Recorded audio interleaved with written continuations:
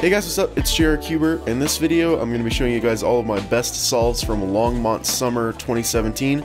So this is a competition I just attended this past weekend, and I had a lot of fun. It was a really great competition, and I got some pretty good times in a few events, particularly 5x5, which is what you're watching right now. Um, I got a 120 single, which was an overall PB, and a 129 average, which is also an overall PB average of 5. Not just comp PB, but like overall PB even at home. So right before I did this solve, I got I, I broke my um, single PB again with a 123. Uh, it was previously a 126 before the start of the competition. So yeah, I did really really good in 5x5 that day. So yeah, I was really happy with that.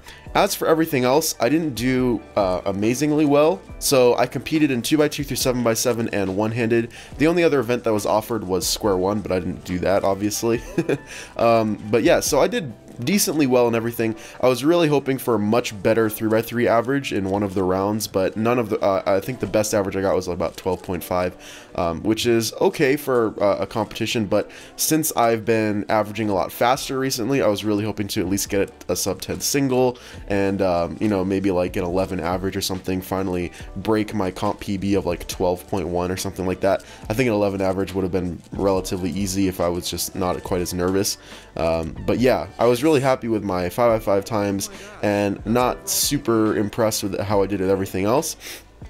But um, that's okay. I at least got a really, really nice 7x7 mean and a decent 6x6 mean so I got I broke my comp PBs in those as well um, but yeah that, those were not too good to begin with.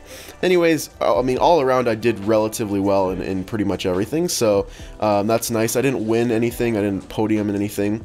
Um, but yeah the lighting was super great. That's something I just wanted to point out. The lighting at this competition was some of the best lighting uh, that I've ever that like has I've ever had at a comp. Even when like at one point the power went out for a little bit but there was so much natural light coming in from the windows that it was still really well lit. So yeah, just great lighting, great venue. It was a nice venue. Um, it was just a little bit too small for the amount of people that were there, but I was we were expecting that anyway since uh, it was uh, this is like the biggest Colorado competition that we've had so far. So um, yeah, great job organizers and that's about it for this video. So I'll let you, I'll let the rest of the solves play out. And yeah, that's about it. So if you guys like this video, make sure you give it a like. Links to all of my social media pages, my Patreon, and my merch store are all linked down in the description below as always. Thanks for watching, guys. Bye.